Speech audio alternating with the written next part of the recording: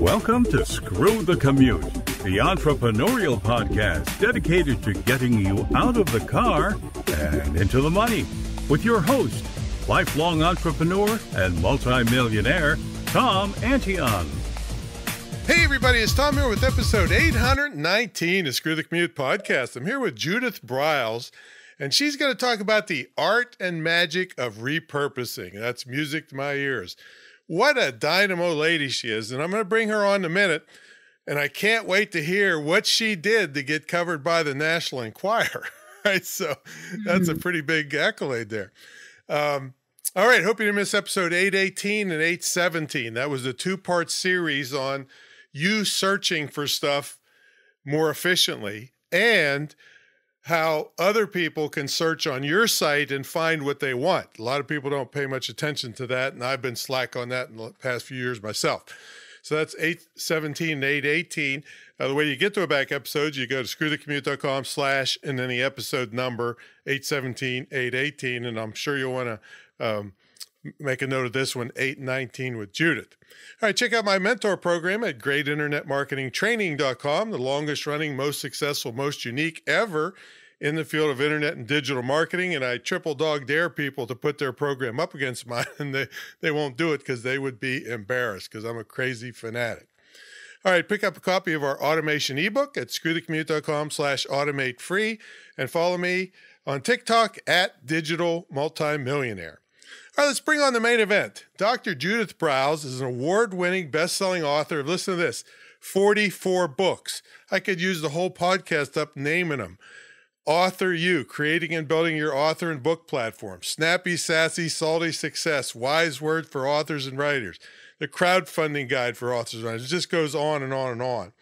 And um, her personal memoir is When God Says No, revealing the yes when adversity and loss are present. And her books have been translated into 17 different uh, languages, over a million copies sold. She's been featured on CNN, CNBC, Oprah, and she's worked with over a thousand authors and created 500 plus bestsellers for them. Um, she's been covered by print publications including Newsweek, People, Time, The Wall Street Journal, and the National Enquirer. Judith, are you ready to screw the commute? I am. I am. Screw the commute. Now, right? did you have some kind of wild sex tape they found for the National Enquirer? How did you get in the National Enquirer?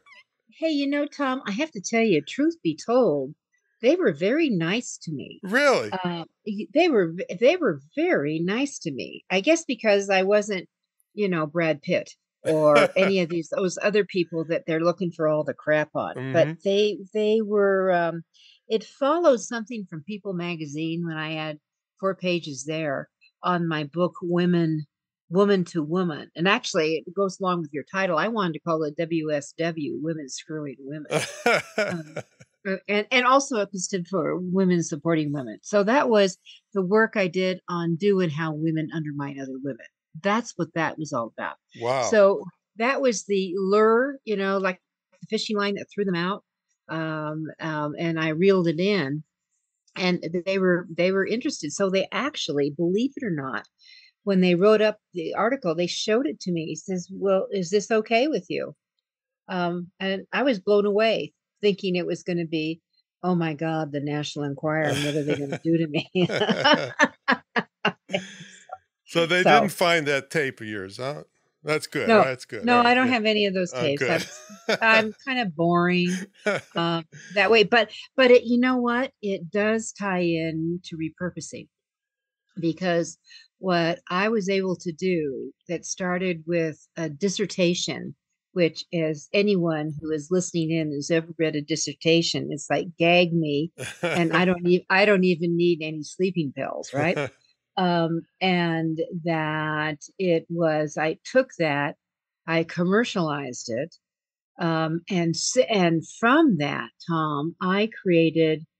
Let's see, woman to woman. I created one, two, three, four, five, six, seven books out of that with using that theme and coming back to the party again um, and and giving it another unique twist, which I think is so important for anyone who has written, I don't care if we're talking about a blog or an article or a book, is the art of repurposing is that you just add a new variation to it. And you go out again and you push it out again and it means you don't have to go through uh, originality brain damage of what am i going to do this time? When you've got a body you just have to come back and do an, a new version well and, that, and, and that's those, my position yeah and those those variations don't have to be different information they can be different formats no and it could be for example um, when I did my first woman to woman book, that was for the general workplace. And what I did not realize, you know, the, my naivete in 1987, that my book scared the hell out of the corporate workplace. Because I was out here saying, women are undermining other women. This sisterhood thing is a crock. All right and that and here's and here's the differences between men and women it's not that men don't undermine they do it quite well but men don't discriminate they would shaft anybody and that's that was the lure that brought in all the media mm-hmm. men don't discriminate men they they will take out anybody if it's too so anyway so i played with that um, and then healthcare discovered me, female dominate. I never thought I was going to repurpose into the female dominated workplace. And that opened up a huge avenue for me. Um, and that was exactly where I belonged. So you're exactly where I belonged. So you're talking about variations in markets there. You know, mm-hmm. I concentrated in in my uh, uh, products on repurposing on uh, different formats. Like you have mm-hmm. a book, it can turn out to be an audio book, it can be a seminar, it can be a consultations, coaching, mm-hmm. all these different mm-hmm. formats. And I, I, contend that the uh, the amount of money you get for your material depends on the format. So a 300 page book like my Wake 'em Up book is 24 bucks. That's it. Mm-hmm. But mm-hmm. I took one the equivalent of one twelfth of that book and put mm-hmm. it on audio and I got 89.95 for it. That's like a 43 and a half times multiplier of the the value of the same information and I put it on video got a thousand dollars for it. So so you're uh, shooting different markets and I was shooting different formats. Right, but but that's exactly what you should be thinking of as well. I mean, I I've always felt that, you know, these people who go down one path and they only create a book are really missing the audio book, the ebook, and the, the speaking engagements, which you just wrote a book on that too. Yeah, and speaking engagements, and and you know that's that's actually where I made a lot of money. Exactly. Was, you know, now you know in into the millions. Exactly, absolutely. I'm a little hurt that I didn't get oh. asked to do a a uh, a promo for your uh, book, you know, when when it came out. So so I'll have to get over that. But um, you know what? Well, amazing. We, hey, hey, hey, hey, hey. What? What? What? It, it, it, let's call. We could repurpose that. Okay, there you go. And I'll be the only. Tes- no, you don't want me to be the only testimony, but I've made enormous amounts of money speaking. Very few people have beat me ever. Um, yeah. But uh, you know what amazes me about you is you're based out of Colorado, right? Right. And the air is thinner there. If you were at sea level, I just can't imagine what you would do with your brain. Jesus. Well, uh, I love sea level. Um, I actually came from sea level and moved to Colorado. Wow. Um, to, to, as a start over, because here's what happened. We did, um, I went through a horrendous time where a partner of mine embezzled a million dollars. Yikes. And did not leave us in good shape and um and we we lost our home we, i mean it was not a good time in my life is this the book shepherd company? Yeah yeah well eventually that evolved. No okay. it was no I, I, was in finance i come from financial background okay. and, and i had a partner but but this this is where women screwing women came from.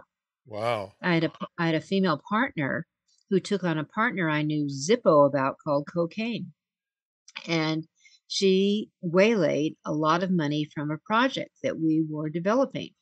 And I was the one who had the signature and the personal guarantees on the line. And I got hit big time.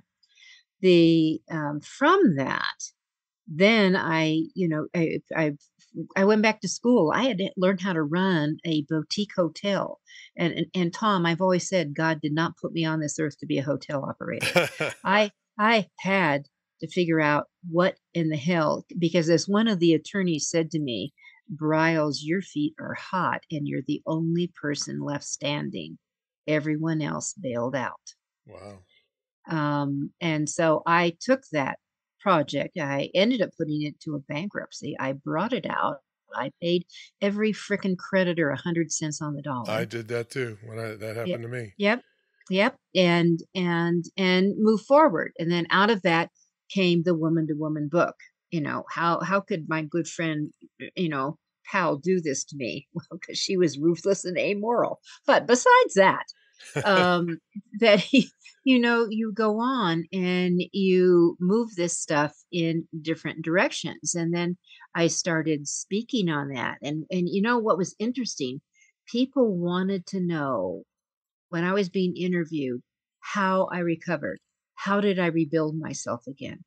And part of that rebuilding was we kind of looked at my calendar and it was almost 80% of all the work I did was east of the Rockies. And I was out of the Bay Area, mm-hmm. east of the Rockies.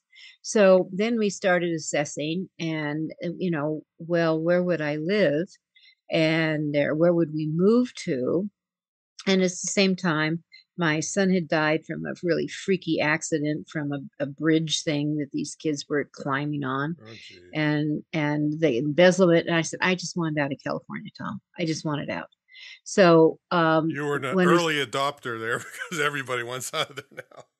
yeah, I was I was an early adopter 34 years ago, and I'm looking around, and Colorado's real estate market was not in good shape.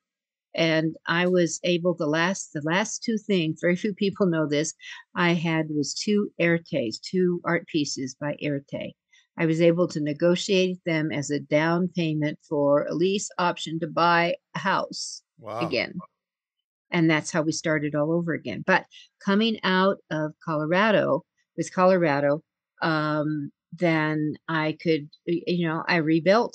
Re, you know, you re, you know, you you've had times where things mm-hmm. have not been well. You rebuild yourself, and and you go on. So we found in interviews that I did um, as you're repurposing yourself. It's not just your work. Sometimes you have to repurpose yourself is that they wanted to know how did I survive? How did I overcome when I had all this hell going on?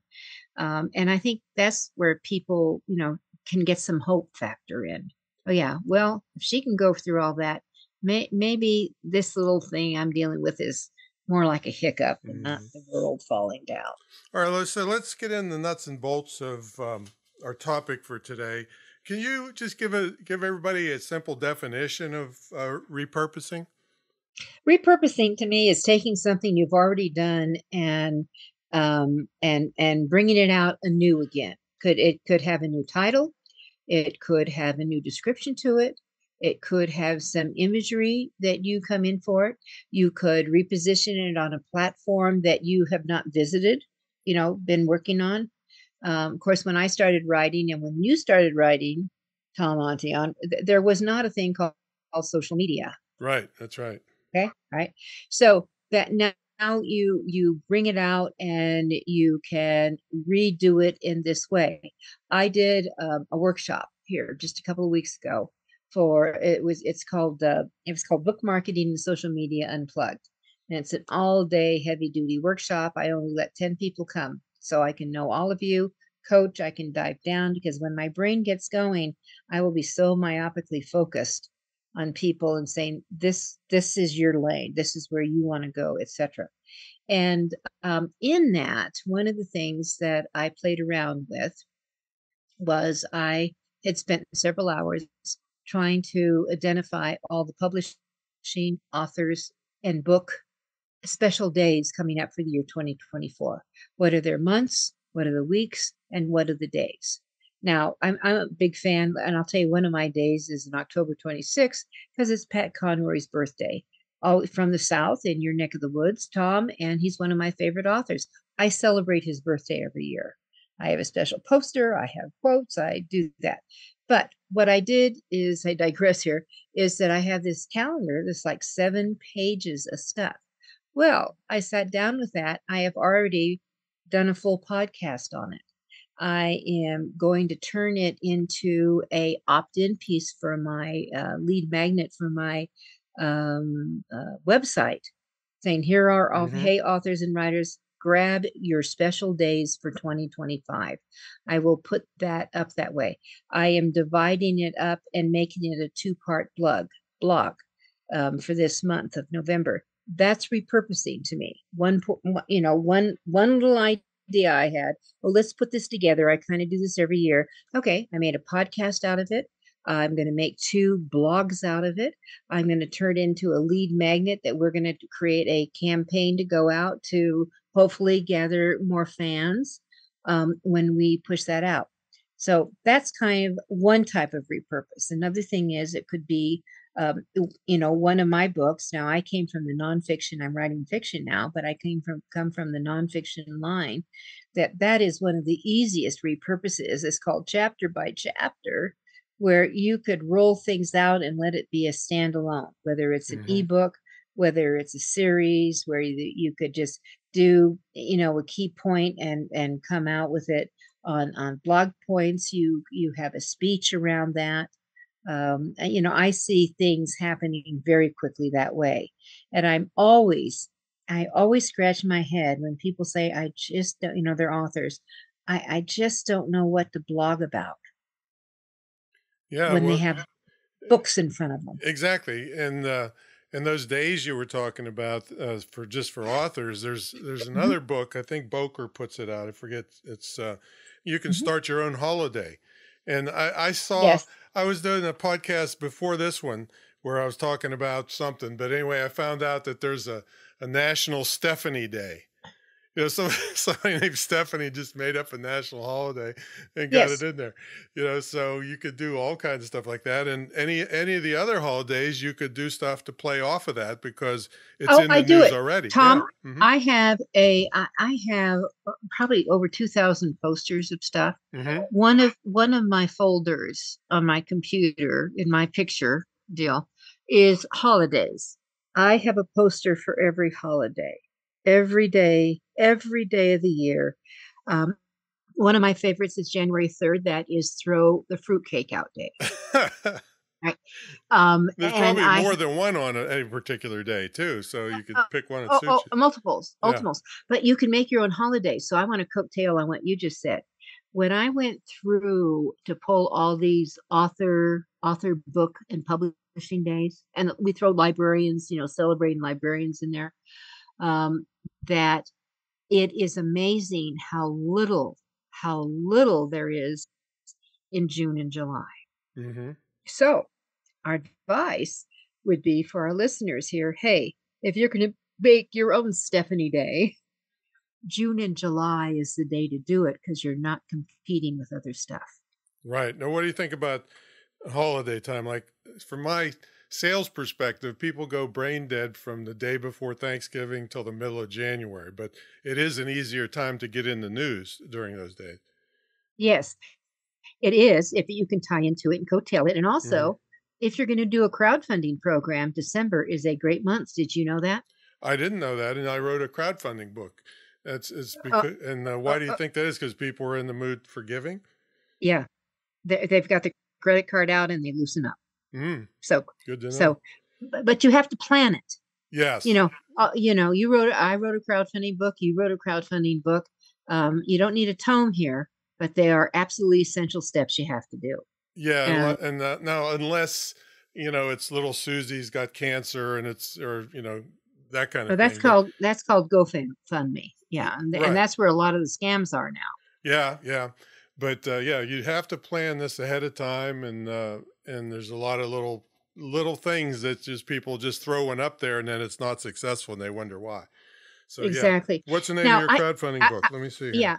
I have another thing on repurposing that I when I have anything that is a year old, whether it's a blog or an article or what, that absolutely should be brought back to the party again.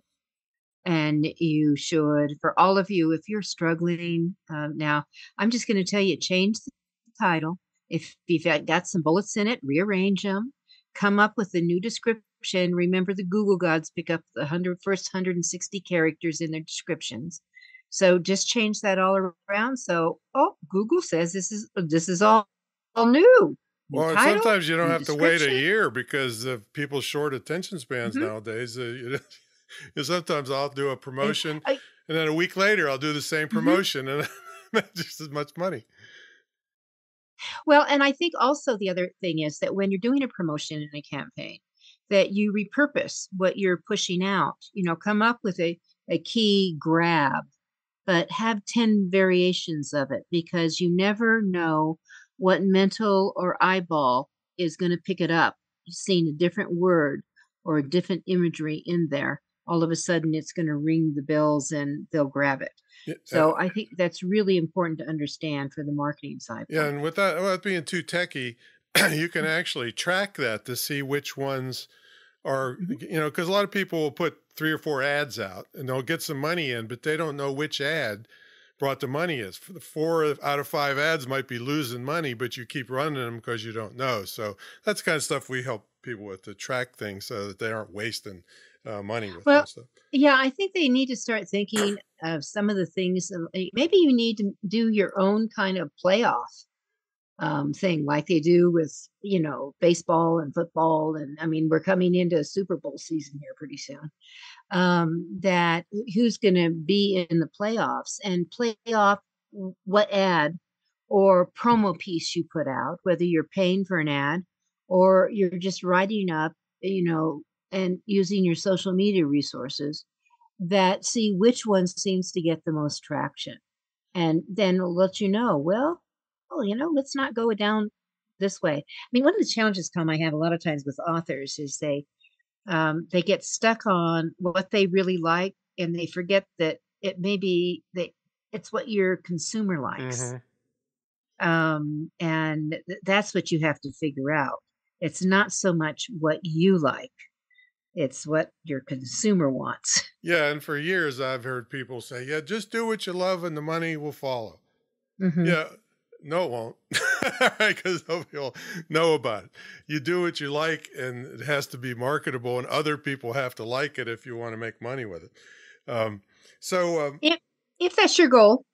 well, yeah, if that's your goal, if it's just a hobby, then they wouldn't be on my show, you know. So, so it's uh, the whole thing is uh, you got to uh, you can blow a lot of money. That's one things I teach people is how to make your hobbies tax deductible.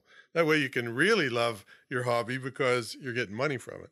And speaking well, of and, that, and the IRS will let you. I mean, absolutely. they'll help you out. They it, give you some leeway here. Totally legit. I never push any any scammy kind of stuff, but uh, you can be in business. You can have a a, a world class website for 150 bucks if you get off your butt and just learn how to do it, which is, you know, uh, you can always get some if you have trouble. You go down to the local preschool and get the you know, wake a kid up from his nap to help you. so, so uh, yeah, you can make your hobbies tax deductible. You can really enjoy it, and I'm really pushing people to get into the digital world because of uh, look what happened in the pandemic. I didn't even notice the pandemic, and that's not to say I didn't. Uh, I know there was a lot of agony and misery out there in the world, but for my business, it actually picked up because more people were home on a computer. You know, so uh, if you can have a digital aspect to your business, part of, part of your repurposing, uh, mm-hmm. it's ninety seven percent profit. You got to really screw up bad to not make money at ninety seven percent profit. Well, I, I think that the digital world, the people who are still fighting and resisting it, my my response to you is get over it. Um, it, it, it is here um, and it's been here for a long time. I mean, I, I wish you know, Tom. What year did you your first book come out? Do you remember? Oh, it'd have to be around uh, 1990, something like that. Okay, so my first one was in 81, mm-hmm. and June June of 81, and everything was done the old-fashioned way. Yep. Truly, the old-fashioned way. And now it's changed so much. I mean, for authors, I mean, I I know in the author community, and this is why you need to learn about, let's go back to our repurpose word, that just because you wrote the book on the art of belly button gazing. You know, let's we're going to use something oddball. Um, but you could have the power of belly button gazing and the, reformation of belly button gazing. I mean, you could have some fun. Um, the Zen of Billy button gazing. Do you count uh, uh, revised versions as repurposing? Well, why not? Yeah, why not? I mean, you know, but, yeah, most why, of the work is done. Yeah, it is. But but you also have to come back to the party, I think, um, and look at it. Do you have the right title? Do you need to change your title? Should you have a new cover? I mean, I, I always feel that if you're going to revise something, I think you should take the time to support what you've created to see if you can fine tune it and make it better. Well, you know, I, I totally agree with that, but there's one that sticks in mind, and probably you know it as bad as, as good as anybody. Dan Poynter, remember him? Right. And he wrote the well, self-publishing manual, and it mm-hmm. must have been 40 versions before before he passed away. I, mm-hmm. I, think I bought every one of them, uh, but it, he kept the same title, but it was always new stuff, new stuff, new stuff the ultimate and and then now we're talking about the adjectives to bring in it could be the ultimate mm-hmm. guide it could be the the the last guide. I mean, you could do all kinds of things. Secrets to bring it in. Are, are a really powerful title too. exactly. How to so, is how to is a powerful title. Well, if if your title says how to, or it absolutely implies how to, for the nonfiction listeners, um, that's really what you need to do. And I always tell people about titles that if if you if you, you have a two title book um, that that first title is just is just the grabber, whether it's a book, you know, the book called Endurance or Power or you know shit. I mean, whatever the word is, but it's that subtitle where the power is, mm-hmm. and and the subtitle is the promise what you're going to deliver between those covers. Yeah, so I, I saw a formula formula one time where uh, they said like 70% of the New York Times bestsellers started with the main title was three words or less. And then the yes. subtitle was descriptive. I, I remember the guy that ran Southwest Airlines. I think his title was mm-hmm. Nuts, colon. exactly. How to, you know, uh, a little airline did something or other. I don't know. Mm-hmm. But uh, well, one word. It, when you think of titles, one of my titles that did really effective, and, and my and remember the cover designer was, oh my god, there's too many words. the main the main title was Stabotage, and this oh th- this was a repurpose, mm-hmm. Tom, from woman to woman, to zapping conflict in the healthcare workplace, to to st- you know Stabotage. That's a right? great word. Yeah. Right, right, and and the subtitle now, this was for healthcare. The subtitle was how to, we're back to how to, how to deal with the pit bull, skunks, snakes, scorpions, and slugs in the healthcare workplace. Anybody who worked in healthcare knew exactly what I was talking about. And what you did there is, and I've been preaching this for years, is you put the name of the group in the title, and yes. uh, you can get uh, way easier sales, get more money for stuff. I, I, t- I tell the story about this. Somebody has a, just a time management topic, 20 bucks at best. But mm-hmm. time management for endodontists is exactly. something which they make a thousand dollars every time they do a root canal. And so they'd pay 500 bucks for that. And it would be 15% different from your, your $20 title. Mm-hmm. But, but then you, you could have, you go, you can go through every specialty in the world. Exactly. How you take to. the same information and just tweak it 10, 15%, and that's repurposing. That's right. And that's what people need to understand. And if you if you really look at a lot of these series, especially in the business arena or the self-help arena, they are exactly there there is almost no difference in the content. Um, but the title mm-hmm. and the book cover is different. Um, and that's you know that's repurposing so for our listeners what they really need to think about is what do they have right now what can they do with with a little tweak or a little twist whether it's a title whether it's an imagery whether it redirects to another industry or a core.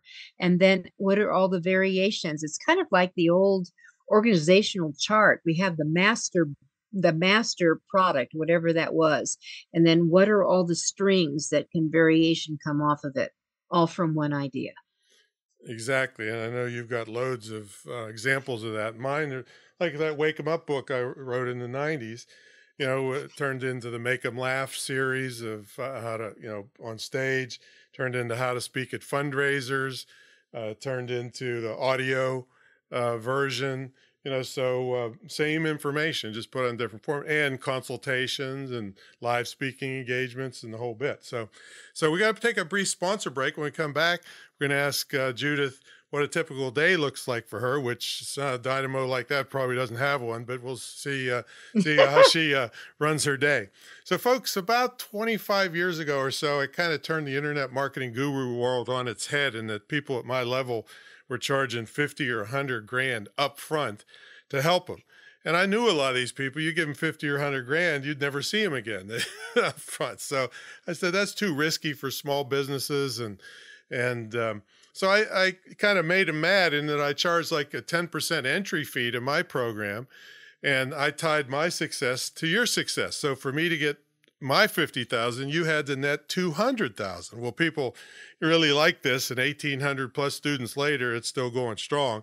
It's the longest running, most successful, most unique ever in the field of internet and digital marketing. You get a, an immersion weekend at the Great Internet Marketing Retreat Center in Virginia Beach.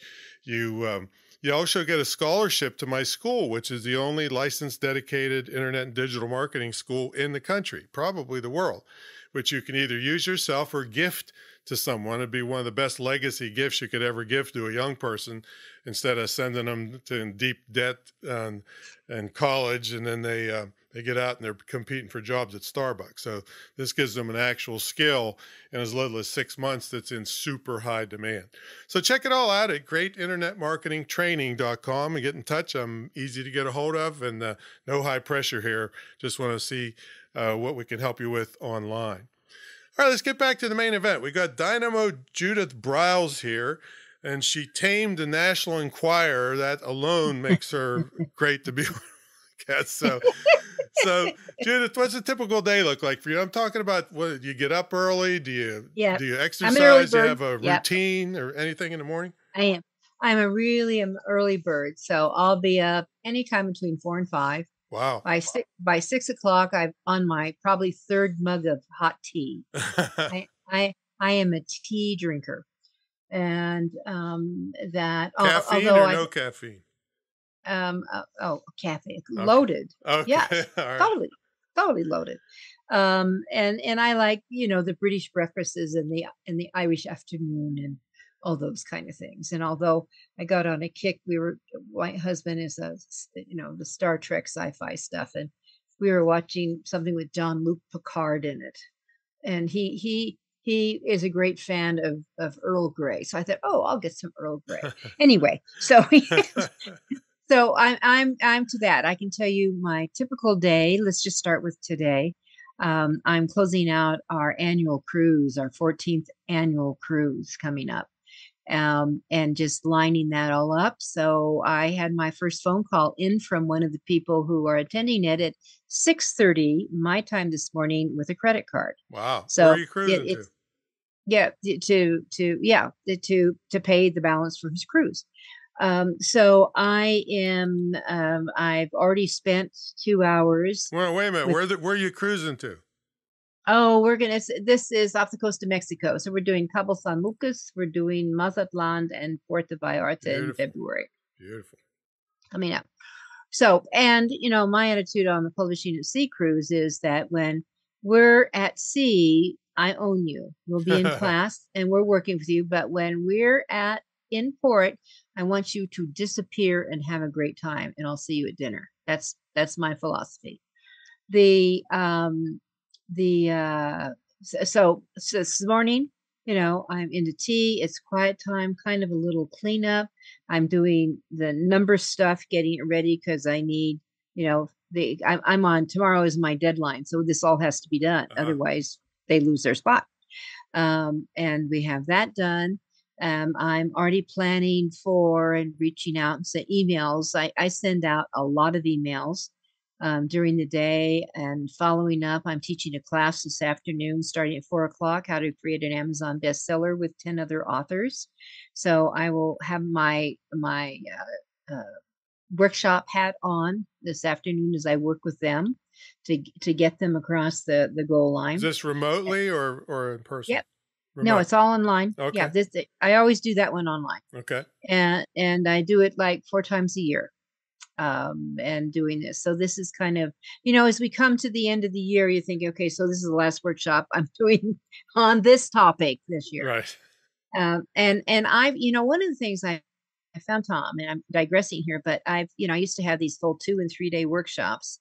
Um, and you and I have been at those yep. full two and three day workshops. I've, you know, sponsored them and brought in the speakers for those kind of workshops.